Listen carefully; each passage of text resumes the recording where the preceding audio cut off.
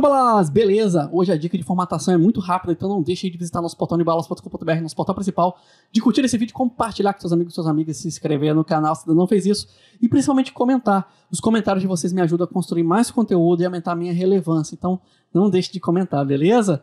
Então vamos lá para o nosso propósito aqui, nosso vídeo.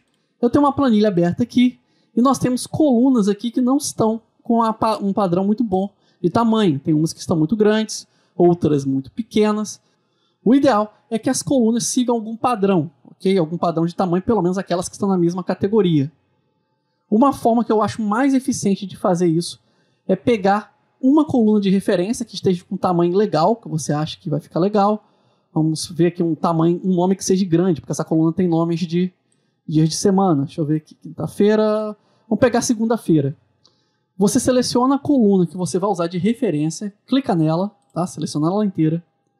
Vai com o botão direito no título dela, onde está aqui a letra C aqui, no caso, a letrinha dela, né? Vai em largura de coluna. Ele vai abrir essa janela e vai mostrar o tamanho que está. Você pode ajustar manualmente. Por exemplo, vou botar aqui 1171, que geralmente é o tamanho padrão aqui das colunas.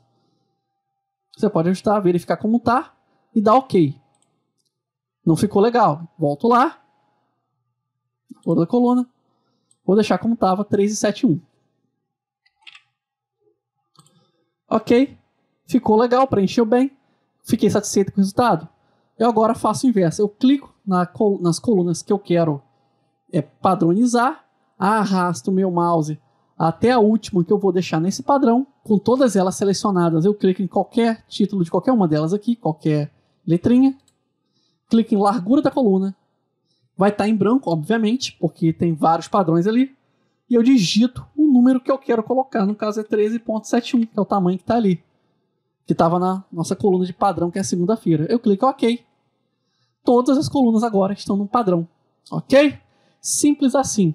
Dá para fazer de um em um, ou dá para fazer selecionando todas como vimos nesse vídeo. Ficou dúvidas? A sua dúvida era outra? Deixe nos comentários que eu vou tentar te ajudar. Também não deixe de curtir, compartilhar, se inscrever no canal se não fez isso. Meu nome é Elias Ribeiro, muito obrigado por sua companhia. Eu fiz esse vídeo de algumas recomendações. Um grande abraço.